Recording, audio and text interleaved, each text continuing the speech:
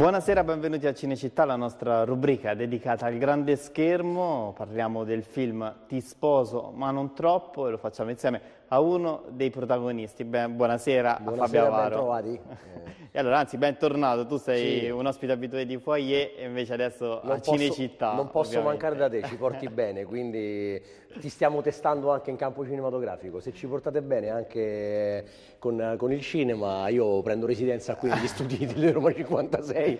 E allora, una commedia che è andata benissimo a teatro e che adesso ehm, arriva al cinema. Sì. C'è tensione, no? Il Ha 17 voglia. si debutta Anche via. che ci abbiamo messo pochissimo tempo, soltanto dieci anni per far diventare questa commedia un film e per far diventare il sogno realtà, eh, guidati e capitanati dal nostro grande Gabriele Pignotta, mio amico fraterno, nonché regista, autore eh, del, del film Ti sposo ma non troppo. E sì, c'è grande tensione, ma attenzione, devo dirti la verità, è più una tensione mh, basata Positiva. sull'allegria, positiva, nel senso che sono Adrenalina, allora. bravissimo, adrenalina pura. Sono sempre, ogni giorno che passa sono sempre più curioso di vedere che risposta ci sarà in sala, e quanto piacerà, se piacerà alla gente.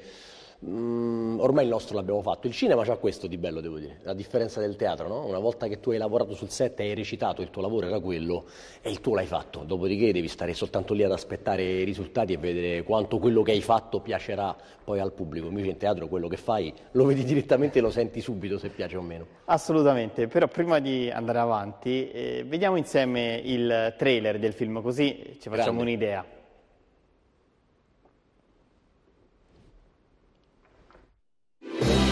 L'ho sempre immaginato così il matrimonio. E tu Sergio, vuoi accogliere Andrea come tua sposa? No, E se stai qui, ci fai lo studio e la casa. Ma se vengono i suoi pazienti e la cercano, ma io che gli dico? Senta, il dottor Ferri purtroppo non c'è. Sentite, adesso basta, per favore. Salve, sto cercando il dottor Ferri. Il dottor Ferri sono io. Stai scherzando? Ma io la voglio rivedere. Ho capito, ma così rischi una denuncia. Mi stavo per sposare. E lui mi ha mollato davanti all'altare ed è scappato con un'altra. Sono depressa, mangio come un camionista e quando mi guardo allo specchio vomito. Pensavo peggio, onestamente. Amore, ma so, dieci anni che stiamo insieme. Sai che conviviamo? Ma perché non si sposiamo? Adesso tu non sei più Lotti, adesso tu sei Sharon. Come faccio a vedere se Sharon è connessa? Intanto chiudi la finestra. Sì, fa corrente, io ho pure mar de gola. Pronto? Attacco di panico. Vai su Google e cerca attacchi di panico. Dove devo andare? Affanculo, levati. La forma di psicoterapia La ricerca scientifica ha trovato essere che la ricerca scientifica ha trovato essere efficace, Andrea. più di pop-up. Chiudi pop-up. Ma che cazzo? Quale sarebbe questa tipologia di uomini di cui si innamora? Mi innamoro sempre degli strunzi. Perfetto.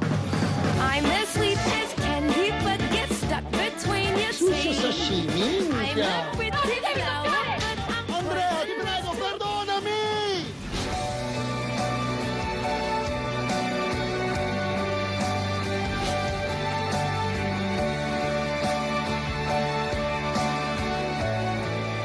Ci vado così. Sobria. E allora, Eccoci qua. una commedia degli equivoci, però poi si riflette sull'amore, no? Sì, sì, sì, si riflette sull'amore eh, e come diciamo sempre io e Gabri ormai abbiamo ribattezzato una generazione, forse se ne era parlato anche a livello teatrale con te, no? Non so se ricordi, si parlava di questa nostra generazione della quale facciamo parte anche noi, dei tardo trentenni. Sì, degli ultra trentenni, dei non troppisti, nel senso ti sposo ma non troppo, tutte quelle persone che si, si impegnano nell'amore come in tanti altri settori della vita, ma senza, senza impegnarsi troppo, cioè non, I non troppo. troppisti, I non troppisti, È una nuova, una nuova categoria di persone, sì.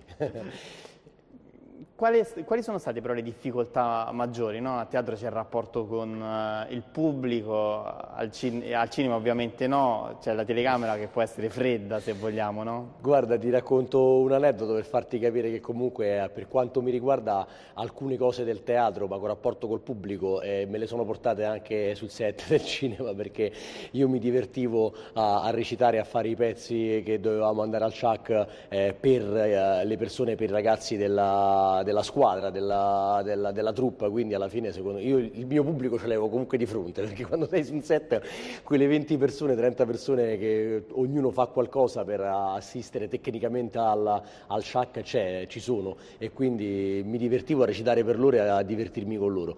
Da adesso questa ovviamente era una battuta, però la differenza c'è Ma devo dire una cosa, guarda, te lo dico proprio apertamente, in tutta franchezza. Io sono, eh, ero un pochino un, fondamentalista del teatro, no? Nel senso che il teatro è il teatro e mai nessuna delle arti simili. La grande passione poi tua, Sì, ovviamente. e quindi non pensavo che il cinema potesse accendere la stessa passione, la stessa- lo stesso divertimento nel farlo, proprio per la domanda che tu mi hai fatto, non ho il pubblico lì davanti in tempo reale, quindi come faccio a passare le emozioni?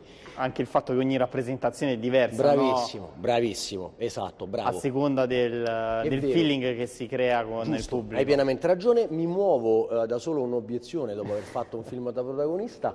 Eh, c'è una grande magia dietro il cinema, Certo. ovviamente anche, eh, Diversa, nello stare sul set. E c'è una grande magia perché quella cosa lì, dove sto guardando adesso, ha qualcosa di veramente eccezionale perché le emozioni che vivi tu nel momento in cui reciti vengono passate eh, di mano in mano a, a dei tecnici, dalla fotografia, l'audio, il montaggio, il mixer, tutto ciò che ci puoi mettere dentro e soltanto dopo mesi arriva una persona che lo vede su un grande schermo e vive le emozioni che tu gli hai fatto vivere otto mesi prima recitando davanti a una macchina da presa. Se non è magia anche questa, insomma, me ne E sono allora, innamorato. viviamo, viviamo insieme qualche altra immagine, qualche Oui. altro momento eh, del film. Seguiamo insieme questa clip.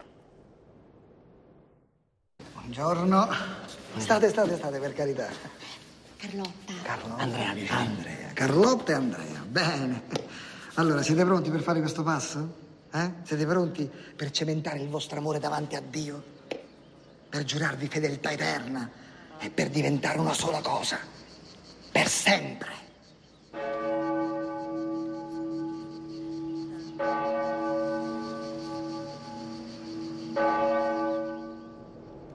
E allora parliamo anche eh, delle due protagoniste, Chiara Francini e Vanessa Incontrata. Va bene, ci ha detto bene, eh, dobbiamo proprio ammetterlo, siamo stati fortunatissimi, abbiamo trovato due compagne di lavoro che sono diventate poi anche amiche nella vita, Eh, io con Chiara mi sono veramente ucciso dalle risate, Chiara è una, una ragazza formidabile, simpaticissima, una grande professionista.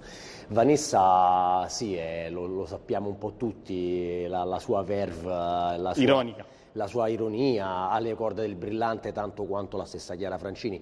Eh, di entrambe devo dire una cosa, io feci un complimento a Vanessa alla, alla fine della- dei giorni in cui si è girato, più di un mese siamo stati insieme sul lavoro. Io a Vanessa le ho detto sei così una bella persona, umanamente parlando, che quasi quasi ci va a, a perdere la bellezza fisica, nel senso dopo, No, no, un- chiaro, dopo qualche giorno che, che si parla con te non ti si vede più come una gran bella ragazza perché lo è, ma eh, ti si considera veramente una gran, una gran bella persona, eh, veramente una persona adorabile. Adesso eh, il 17, no, se non erro, debuttate al cinema. sì. Eh, È fondamentale per quanto riguarda il botteghino andare bene eh, la prima volta, la prima settimana, no? E torniamo Altrimenti- all'adrenalina di cui parlavi prima e alla tensione. Altrimenti Sì, io ho scoperto, ho scoperto questa cosa negli ultimi anni, negli ultimi mesi, nell'ultimo anno da quando ho messo piede nel cinema, che il cinema non ti dà molto tempo di far innescare il meccanismo che a noi ci ha portato dove siamo, il famoso passaparola. Eh, nel senso, quando sei quattro settimane in un teatro, sei quattro settimane in quel teatro, cascasse il mondo, insomma, le due settimane te le fai tutte, se la prima settimana va bene, la seconda, la terza la quarta spesso si innesca il volano del passaparola e la quarta settimana il pubblico arriva a pagare biglietti interi senza neanche promozioni piuttosto che chissà quale, eh, chissà quale ricerca di pubblico, insomma, no? arriva da solo. È partito il passaparola, vuol dire che lo spettacolo funziona. Nel cinema eh, c'è una particolarità, il primo weekend, e quindi per quello che ci riguarda ve lo ricordo benissimo, è dal 17 al 20 aprile, il primo weekend di un film è il più importante di tutti, nel senso che eh, ho capito e mi hanno spiegato che eh, i, cinema, i- i- i cinema iniziano a togliere copie dalle sale in giro per l'Italia se il primo weekend non rispetti come incassi gli incassi che si erano prefissati la distribuzione, e la- il cinema stesso e la produzione del film. Quindi eh, togliendoli da, da- mettiamo, da, da- da 100 sale, noi siamo in 200 sale in tutta Italia, se dopo una settimana non siamo più in 200 sale mi precludi la possibilità di andare Iniziano i a incassare. problemi, Eh, certo, iniziano i problemi. questo- Seguiamo insieme adesso l'ultima clip, così scopriamo altri personaggi del film. Amore mio, sei bellissima. Dici? Hai visto? Ernie, Ernie, hai visto? È uguale a me il giorno del nostro matrimonio, ti ricordi? E chi se lo scorda? Il giorno della condanna. No, comunque Io non lo so. Eh, vedi? No, mi sta, mi sta tutto largo in vita e poi non, non mi piace come cade qui sul sedere. No, dai. No, invece ti sta benissimo. Mamma, ti ho detto che non sono convinta neanche di questo. Ma non convince nemmeno me. 7.000 euro. 7007. Eppure, dai, una cosetta un po' più semplice. Tanto, amore, no, si usa una volta, poi si butta. Ernie, per favore. Ah, via, amore, ne hai già provati almeno 10. 18. Ecco, appunto, è possibile che non ce ne sia nemmeno uno che ti piace. Eh.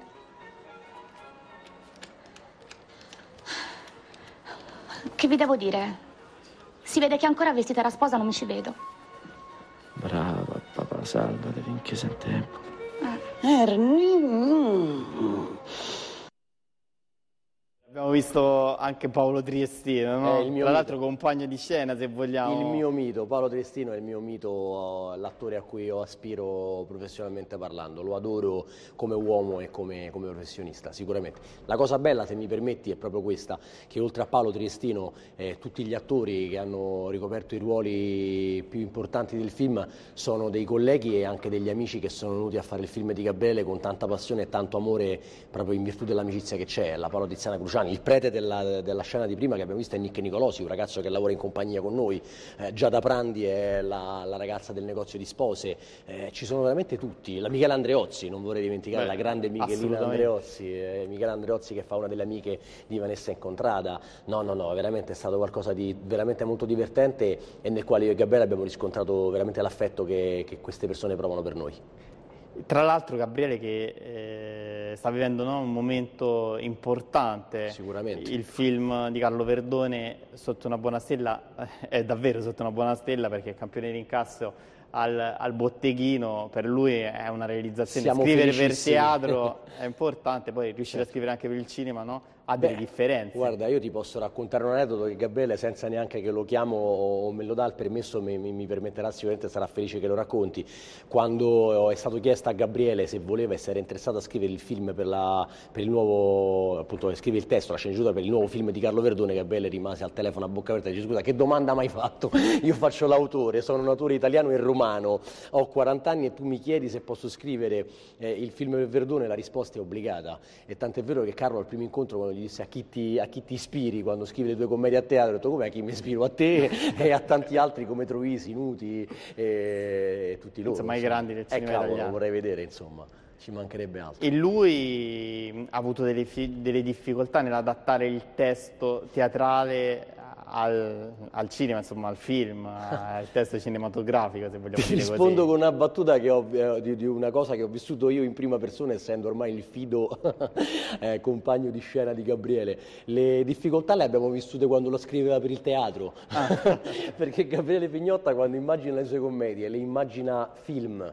Anche quando le scrive per il teatro, lui le immagina film, io non scorderò mai quando alle, prime- alle nostre prime armi, lui che immaginava le nostre commedie, mi raccontava la storia che lui eh, aveva sognato, che stava scrivendo e metteva dentro 10-12 location diverse, dice, oh amore mio, ma che sei impazzito amico, non ce la complicato." facciamo coi soldi, ci autoproduciamo, poi anni fa non avevamo tutte queste possibilità, quindi lo dovevamo tenere a bada perché la pensava a livello di film, eh, quindi quando è- è passato al cinema e può andare sulla spiaggia a fare la passeggiata con la ragazza di cui il personaggio si sta innamorando e poi al ristorante giapponese, poi al cinema lo puoi fare e lì Gabriele, come si dice, ha sballato, nel Si è senso che si è divertito veramente. brodo di giuggiole, sicuramente In sì. chiusura voglio chiederti perché è importante no, vedere questa, questa commedia, cosa ci insegna anche?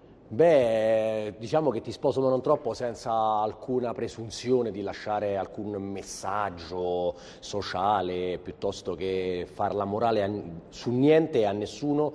Gioca, scherza e fa ironia proprio sui rapporti di coppia, sull'amore.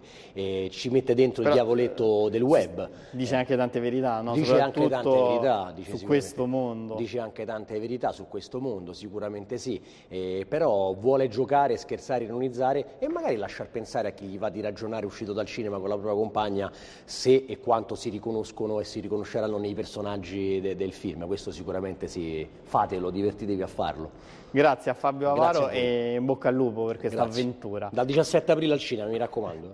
Noi invece ti aspettiamo a Cinecittà o Foyer, insomma decidi tu a Presto. seconda Ovunque di dove sei, voglia. se sei in scena Ovunque o se sei vogliate. al cinema. È tutto per quanto eh, ci riguarda, dopo la pubblicità arriva il calcio con Paolo Colantoni.